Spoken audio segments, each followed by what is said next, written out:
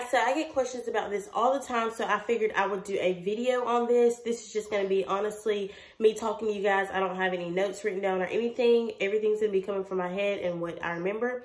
So, my daughter is right here. If you hear anything, she's just chilling with me right now. You want to say hey, girl? Let's see. Here she goes.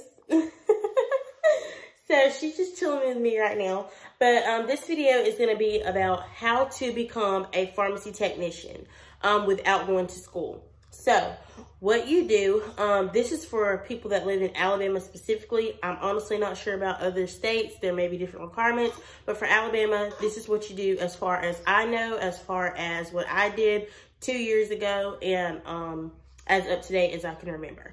So um, you go to this website called albop alabama.com.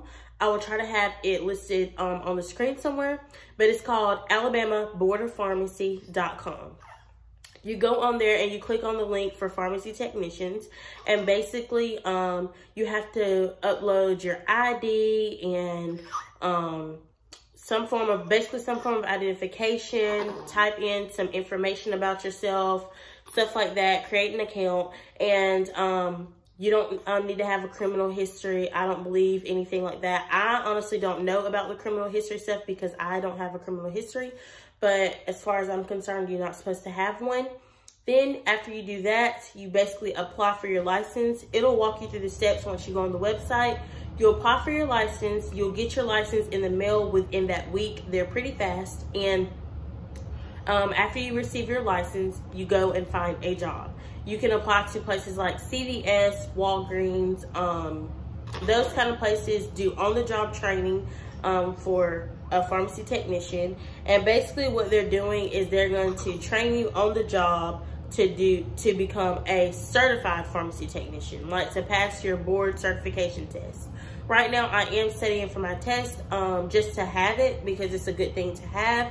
And um, I've gotten job offers for $18 an hour, $14 an hour. I started off at $9 an hour. So there's different pay rates that you can get. There is money in pharmacy. People are always gonna need drugs. So there you go with that. Um, people are always gonna need the prescriptions and medications.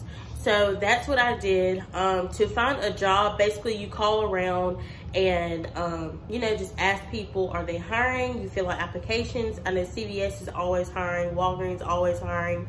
Um, and then you're on the job training and you're a pharmacy technician. Once you get that license in the mail, you are now a licensed pharmacy technician. Um, even without the training, you still are a technician.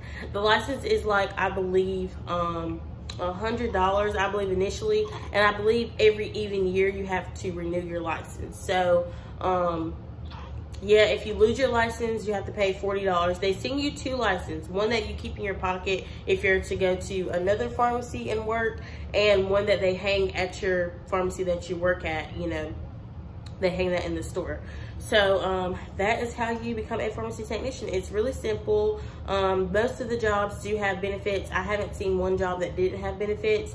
They also pay decent pay, in my opinion. The only thing is the hours are kind of crazy, honestly. Um, I've never had a job where you get set hours, like a nine to five. Now, they those jobs do exist, but it's very rare. Most pharmacies are open Monday through Sunday. Well, at least CVS is. So that's kind of a con, I would say, because uh, who wants to be working every day? like, who wants to not know a set schedule, basically? Um, but yeah, that is how you get your pharmacy technician license. I hope this video helped and hope I wasn't talking too fast. and I'll see you guys on the next video.